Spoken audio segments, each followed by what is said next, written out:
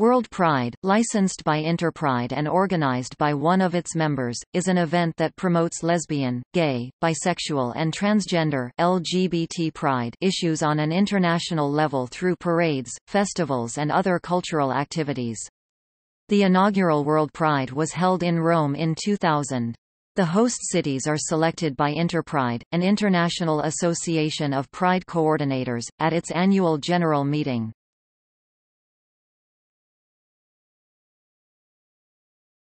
Topic: World Pride Rome 2000.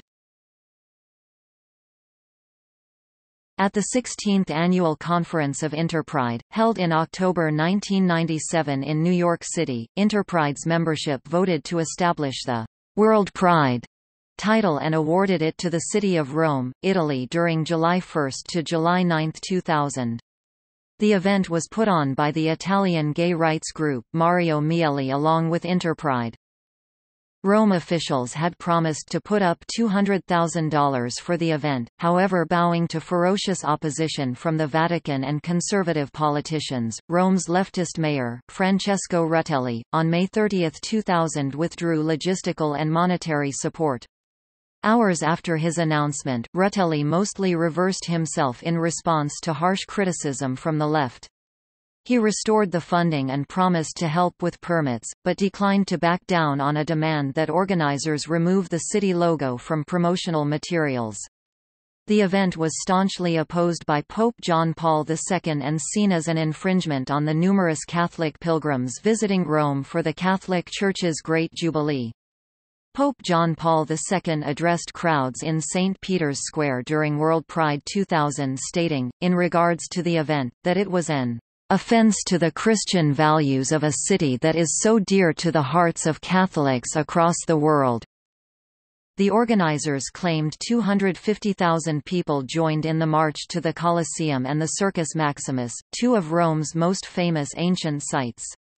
It was one of the biggest crowds to gather in Rome for decades. Among the scheduled events were conferences, a fashion show, a large parade, a leather dance, and a concert featuring Gloria Gaynor, The Village People, RuPaul and Geri Halliwell.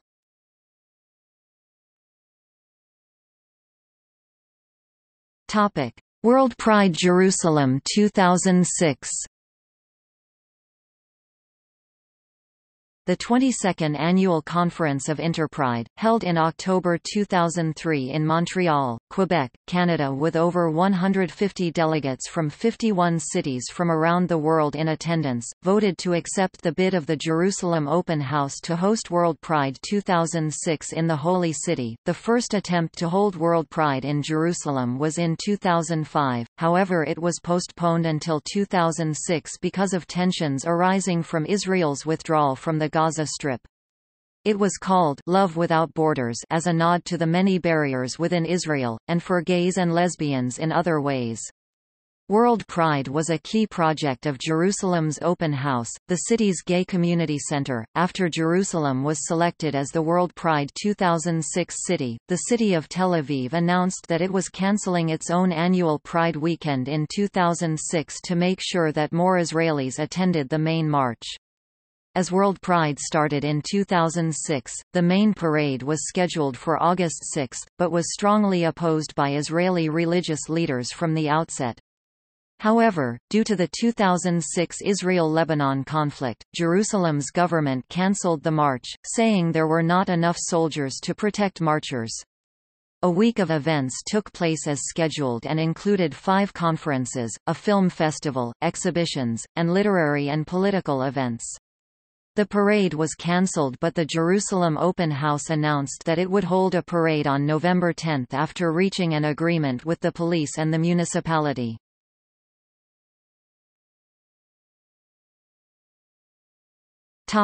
World Pride London 2012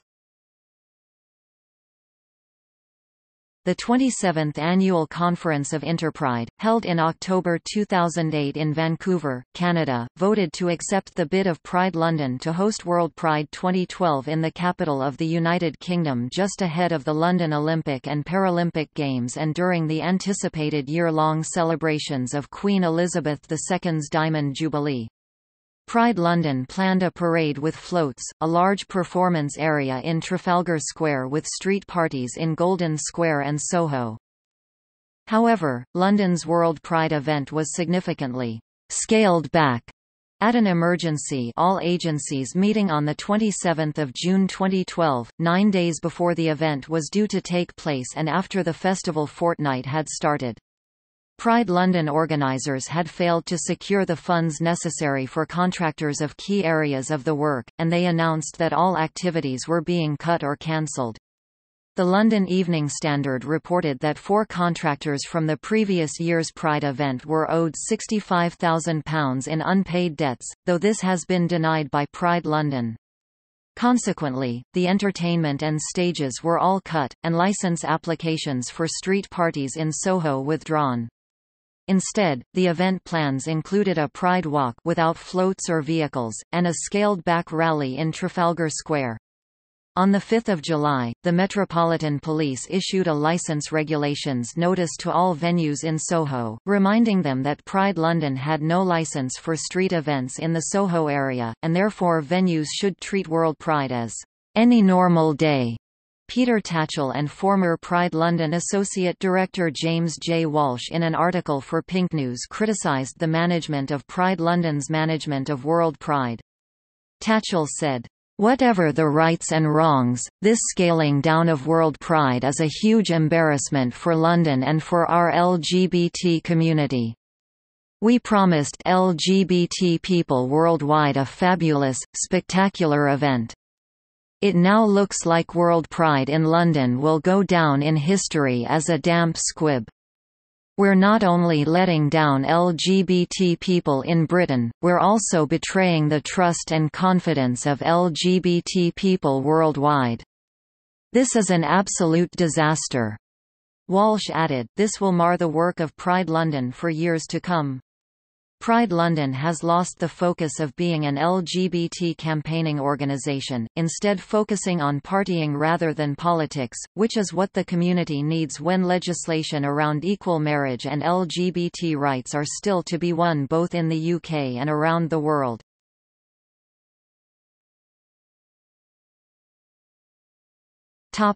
World Pride Toronto 2014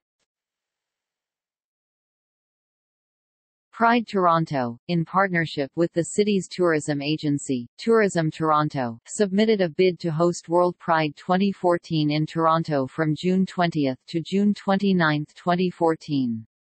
The 28th Annual Conference of Interpride, held in October 2009 in St. Petersburg, Florida, United States, voted to accept the bid of Pride Toronto to host World Pride 2014 for the first time in North America. In the first round of voting Toronto won 77 votes to Stockholm's 61.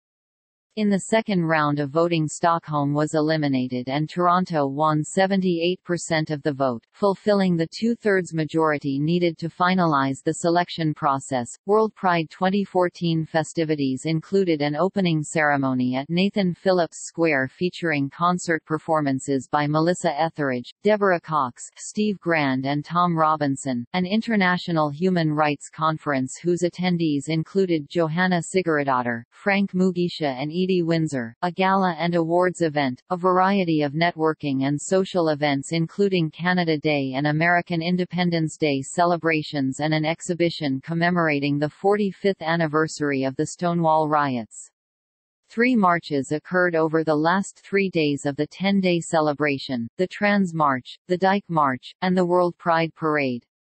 Of these marches, the Trans and Dyke marches were more political, while the World Pride Parade was more celebratory and included floats, musical acts, and dancers. All three marches were the longest of their kind in Canadian history. Over 12,000 people registered to march in the World Pride Parade and over 280 floats took part in the march. The parade lasted over five hours, marking it as one of the longest parades in Toronto's history. The parade's Grand Marshal was Brent Hawkes, the pastor of the Metropolitan Community Church of Toronto, and Georgian activist Anna Rekviashvili served as International Grand Marshal. There were many free public stages throughout Toronto's Church and Wellesley neighbourhood, featuring drag queen and king shows, burlesque shows, cultural performances, and musical acts including Carly Rae Jepsen, Peaches, Against Me, Hercules and Love Affair, Shelley Wright, Pansy Division, Lydia Lunch, The Nylons, K. D. Lang, Carol Pope, Parachute Club, Dragonette and the Cliks.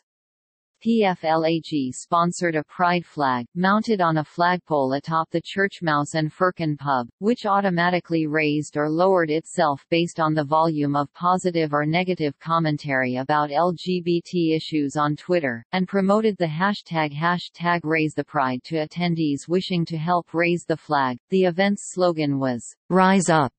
Parachute Club, whose 1983 single, Rise Up, has long been considered a Canadian gay anthem, released a contemporary remix of the song a week before the festivities. The closing ceremony, held at Yonge Dundas Square following the parade, featured performances by Tegan and Sara, Robin S., Cece Peniston, Rich Aucoin, God Des and She and Hunter Valentine. When estimating the potential economic impact of World Pride for Toronto, Pride Toronto officials said that Pride Week 2009 drew an estimated 1 million people to Toronto and contributed C$136 million to the city's economy, and stated that they expected World Pride to be about five times bigger.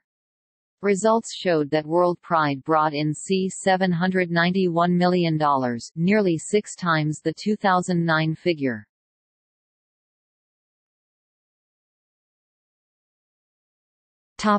World Pride Madrid 2017. In October 2012, Interpride's membership voted at its annual conference in Boston, Massachusetts, United States, to award World Pride 2017 to the city of Madrid, Spain.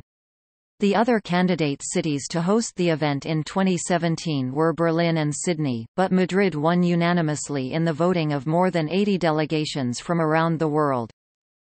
This celebration in Madrid coincided in time with the 24th Europride, which was hosted for the second time in the Spanish capital the first one was in 2007. It took place from June 23 to 2 July 2017. The event's slogan was, "'Whoever you love, Madrid loves you'", and the song chosen as the anthem was, "'A quien le importa?' By Alaska Y Dinarama, which was specially adapted for the event with the collaboration of several Spanish popular singers among the LGBT community, including Fangoria, the band of two of the three former members of Alaska Y Dinarama. World Pride Madrid 2017 also coincided with two key anniversaries in the history of the LGBT community in Madrid and Spain, the 40th anniversary of the first demonstration in Spain in support of the rights of LGTB people, which took place in Barcelona in 1977 and the 25th anniversary of the foundation of the State Federation of Lesbians, Gays, Transsexuals and Bisexuals FELGTB, from Federación Estatal de Lesbianas, Gays, Transsexuals y Bisexuales. The opening ceremony of the event took place at the Calderón Theatre on Friday, June 23, 2017. Few days later, on Monday, June 26, the Madrid Summit, the International Conference on Human Rights, was inaugurated at the Autonomous University of Madrid.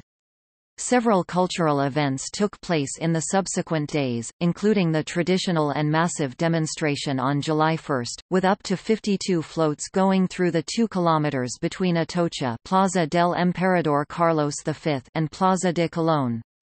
The World Pride closing ceremony took place on July 2 at Puerta de Alcalá, giving the baton to New York City for the celebration of World Pride 2019.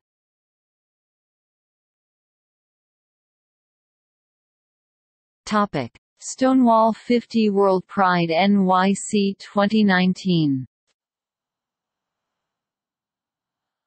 On October 18, 2015, Interpride accepted a bid from Heritage of Pride, Inc. to host World Pride NYC 2019 in New York City.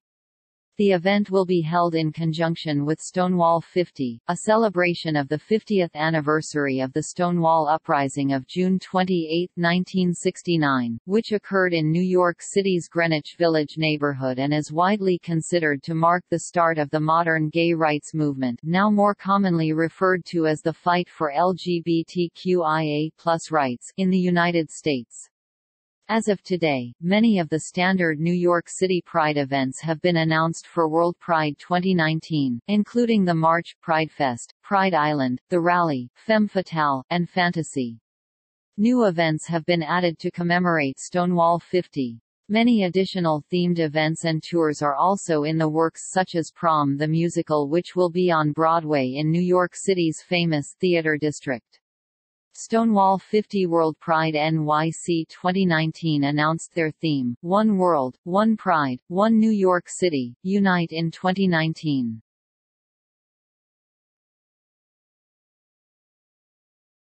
Topic: World Pride Copenhagen 2021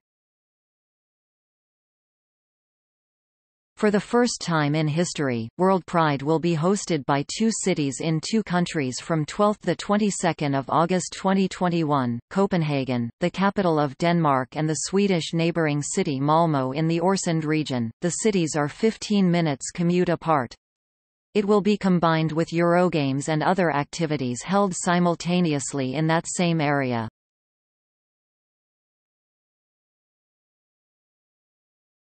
Topic. See also. Europride Pride. Parade. List of largest LGBT events